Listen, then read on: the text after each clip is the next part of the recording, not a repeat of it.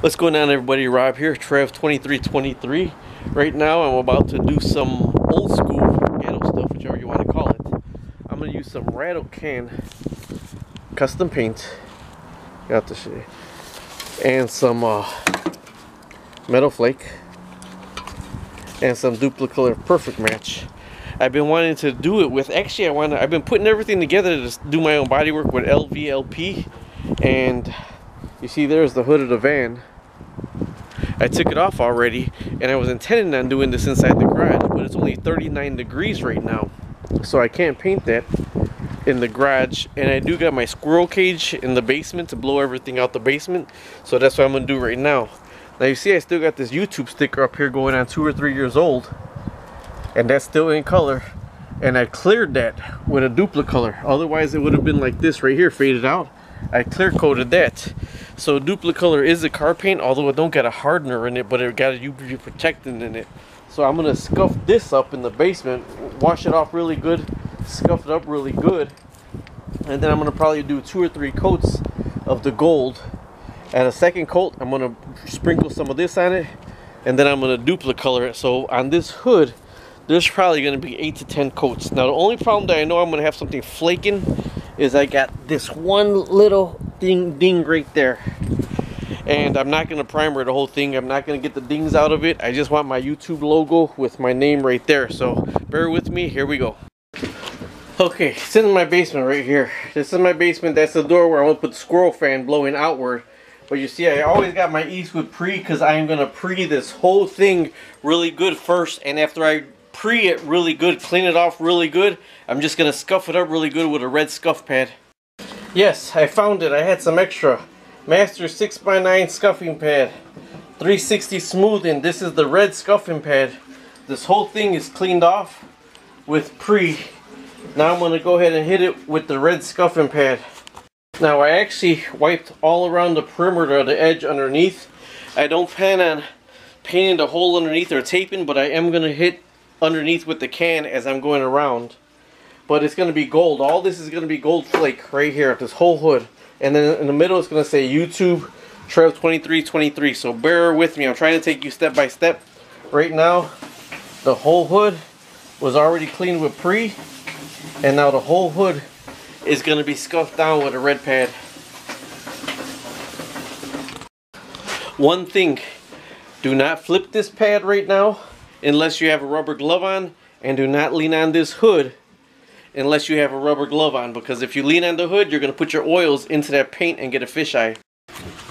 So you got to press hard enough to get rid of that shine. See that shine? The paint will not stick to that shine. You got to keep doing it in crosshatch so the shine isn't really there anymore. See the difference? There's a little piece right there that's really good. You got to get all that shine off. And you got to do that for the whole hood, so yes, you will be sweating. Okay, so scuffed up pretty good. You won't believe this. I just bought tack cloths and I cannot find any tack cloths. Sorry about the lighting here. So I'm using Rust-Oleum Custom Gold. But I'm to hit it with a solid sheet of this right here. Probably two coats of this. Then I'm to put the glitter. And then I'll put a gloss and then I'm to put the YouTube and Trev2323 signs. Well, you know how to spray spray paint, so I'm not to... I'm to just use one hand for this. Look at that. My honey found my tack cloth. So I'm to tack it down with my tack cloth real good, and then I'm to paint it. Hold it. I was trying to set you up somewhere. But I'm just to hold it. I'm to do half the side over here first, and then half the other side first. Shaking as I'm going.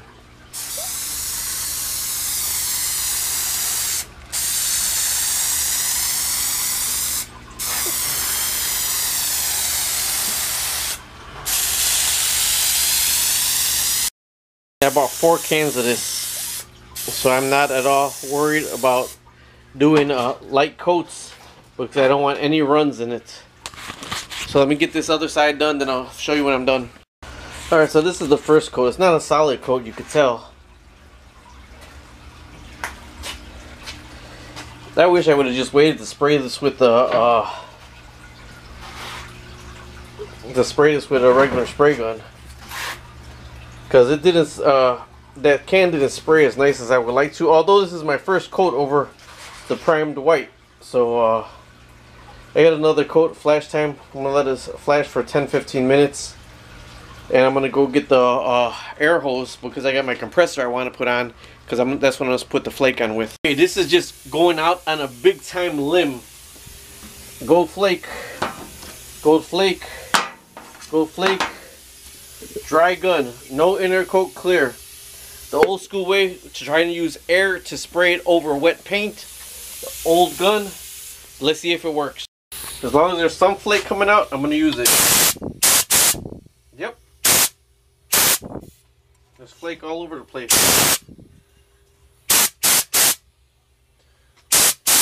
So I'm gonna use this like this but I'm gonna open it up a little bit more Alright, so there it is. It's just dry dry in there. And I got an old Campbell Hausfeld gun, but you got to shake it around to get the uh, glitter sucked up. So I'm to put the second coat on here. And I might even start spraying some glitter with the second coat. It's still drying. I got some uh, time left on it. Uh, actually, it's about to be ready for another coat. But you see it's still kind of wet over here. So I might wait a little bit more. Man, I would have recommend that paint for anybody to spray.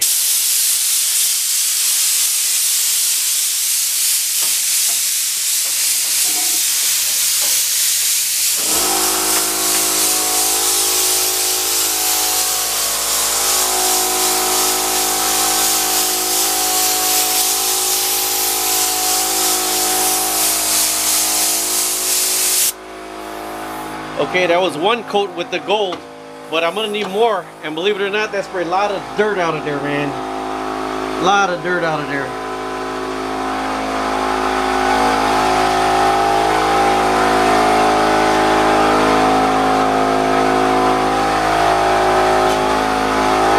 So I'm so glad I got another can of gold to go.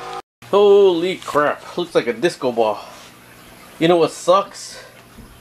Is in the first blast, threw a whole bunch of dirt out with it. I cleaned it, but it threw a whole bunch of dirt out with it. And it looks like dirt. It don't look like gold. And then it blasted this side. And then it looks like it ran out before this side. You see it? This is all with rattle can. I'm going to do one more even coat of gold on top of this. And then I'm going to, uh, one more even coat of gold I'm actually going to use it again. This thick spray didn't come out of it. This thin one and this thin one sprayed out of it really good. And this is crap. You can only use half a can and then it dries up in the can. Now with this Rust-Oleum stuff, the Rust-Oleum Custom, it seems like it gets clogged up in the tip because I got two cans that are not even all the way done and everything's clogged up in the tip already. So see, the little dirt molecules on there. But I'm not going to sand it. I'm going to leave it like that. I'm going to do one more coat of this. Spray some more glitter on it. Wait 10 minutes. And then I'm going to clear coat it with one coat of clear coat. And wait an hour. And then I'm going to put my decals on it. So coming from the front. After this is all one color and gloss. It is going to look really nice. But I want to get that coat of clear coat on it before one coat of clear coat before I put the vinyl lettering on because if not I don't want this stuff to peel off and the vinyl lettering not to sit as much with this. That's why I'm gonna put the coat of clear coat. Now this is just all rattle can. Holy crap.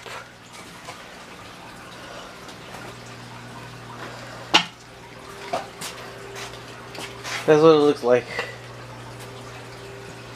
So in 10 minutes I'm gonna hit it with clear coat then I'm gonna leave it for about an hour or two hours before I put my logos on it.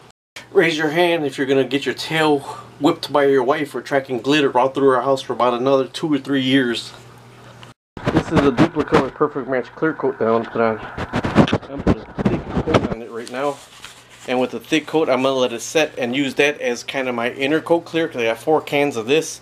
Hopefully one can covers the whole hood of the car and then I'll put one can really thick on this then I could put my uh, logos down and then I could put like three four more quotes on it I'm trying to do this right now so the uh, my van I don't got to use it till Monday or Tuesday, so this way it can sit for two or three days down here with the gloss on it. So everything could get nice and hard. And I'm not gonna wet sand it or buff it till the summertime. All I've been doing with the paint is 10 minutes, maybe 15 minutes flash times in between. And you'll see my fingerprints because I've been pressing underneath here to see it was when it was tacky. But then the clear, I want to probably use this whole can and do a nice solid deep wet coat. So this way when I put the YouTube Trev 2323 on here, it'll actually have something that's solid to stick to. And that was 10 minutes. It's dry underneath there. So what I found out is when I was doing this right here, halfway, it was leaving a line kind of down the middle. So I've been going the whole width of it.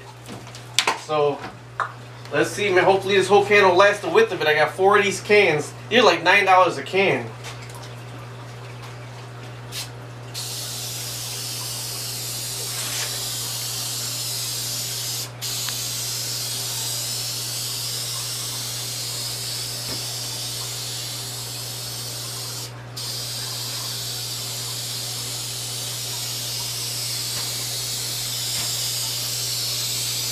You already see the color change into a nice deeper gold.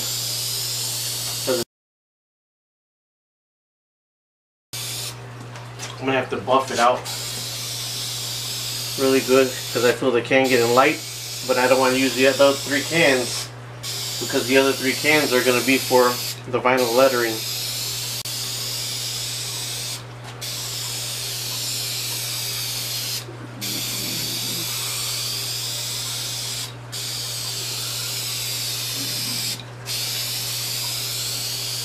Looking for the dry spots right now.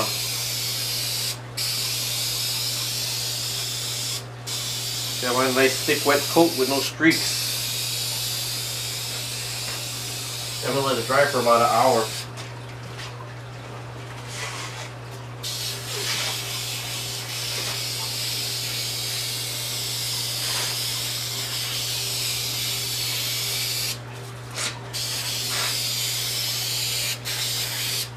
running out.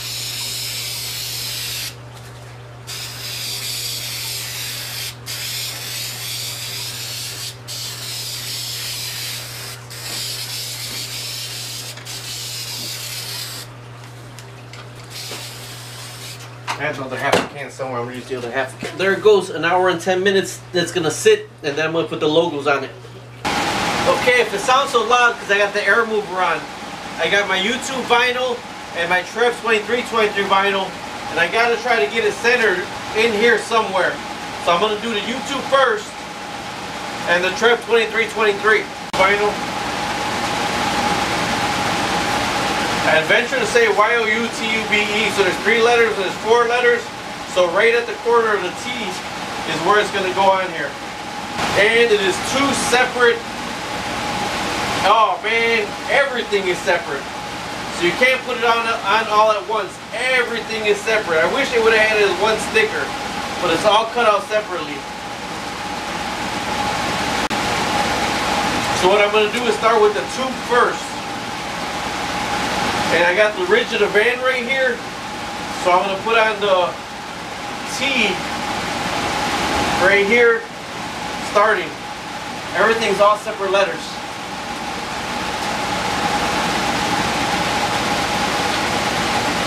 Other thing I can do is probably start with the bottom and pull back.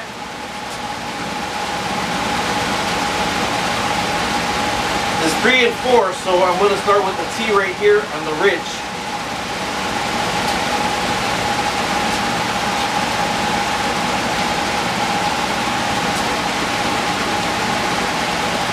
Come in there. Oh, that's all together. Right here. What's that?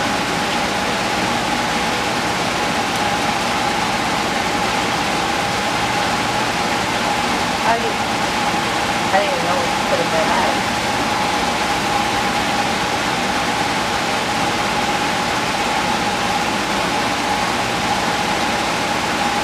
That's high. Are they even to be able to see that? Trev 23, 23 one right here. I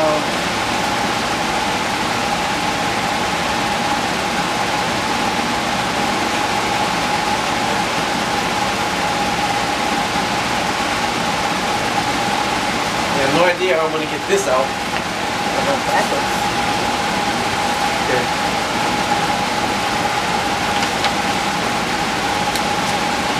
I was thinking about cutting backwards and going to U and filling it up that way, you know?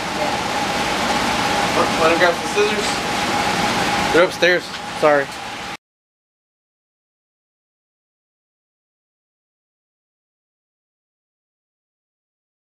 You shouldn't drink while you're painting stuff.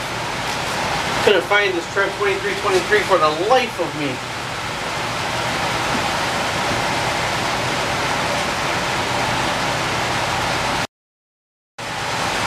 Alright, so I know this is going to be the halfway point, and I'm kind of eyeballing it here. So I'm actually going to cut this uh, to peel off the back.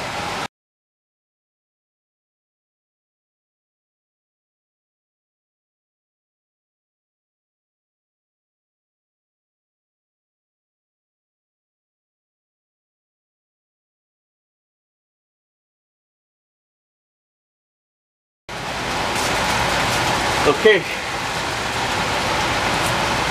Now it's five clear coats over this, and it should stick that underneath all the clear coats. Let me. Well, that didn't come out as planned. All right, Jack of all trades, master of none. This is the hood of the car. YouTube. I do got the flake in it. My battery's about to die. Trev 2323 didn't stick as well as this didn't stick as good over the flake. If I would have used uh, regular car paint with a hardener, it would have worked better. The Dupli-Color wasn't thick enough. Even when I put it on like a thick coat, it wasn't thick enough to cover over this because it had the bump, the textures from this. So if I would have put on like maybe three coats of gloss and then that, it probably would have stuck on better. But lesson learned. Now I got to drive around with a flaky hood with just YouTube on it. But I'm probably to put Trev 2323 across the top sun visor at a window. But this is it for now. That's how it came out and I'll show you it in the sun. Uh, I had company today so I'm to hit it with probably three more cans of gloss this weekend.